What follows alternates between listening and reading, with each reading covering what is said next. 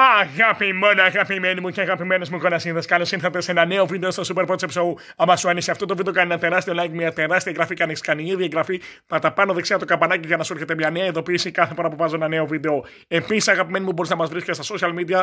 Επιπλέον, μια παρένθεση. Τι ωραία αρκουδάκια εδώ πέρα μοιράζουμε αγάπη. Τα έχω βάλει έτσι μέσα στο πλάνο, στο επαγγελματικό στούντιο αγάπη μόνο, δηλαδή στο σαλόνι μου. Λοιπόν, μπορείς να μας βρεις και στα social media, στο facebook με ελληνικούς χαρακτήρες τάσους Potsep, στο instagram με λατινικά Potsep κάτω παύλα στο Snapchat Super Potsep και στο YouTube Potsep Τάσο.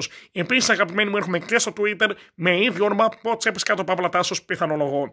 Πάμε για ένα δυναμικά. Σκέφτηκα να κάνω μια νέα σειρά, ένα νέο series που θα αποτελείται περίπου από ένα-δύο λεπτά ή όσο πάει το βίντεο με την αγάπη σας, στο οποίο θα αποκαλύπτω και θα λέω τη γνώμη μου για κάθε έναν γνωστό καλλιτέχνη με τον οποίο έχω συνεργαστεί. Δηλαδή, θα εκφέρω την άποψή μου, την ταπεινή και προσωπική μου άποψη για κάθε έναν από τους ανθρώπους με τους οποίους έχω κάνει ένα βίντεο, τους έχω γνωρίσει, έχουμε κάνει διάλογο, κυρίως από τα δημόσια πρόσωπα.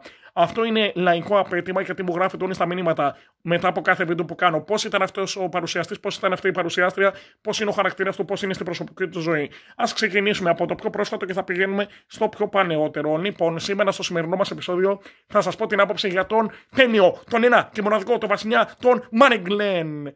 Ο Αλέξανδρος Κοψιάνης, αγαπημένοι μου, είναι ένας άνθρωπος ταπεινός, πράος, παλίκαρος, γενναίος, θαραλέος και πάνω απ' όλα δίνει βήμα σε όλα τα νέα παιδιά και ευχαριστώ πάρα πολύ για τη συνεργασία που κάναμε. Μιλάμε μέσα σε 48 ώρες, δηλαδή σε δύο μέρες, καταφέραμε και πιάσαμε 500.000 προβολές με περίπου 30.000 likes και μόλις 3.000 σχόλια.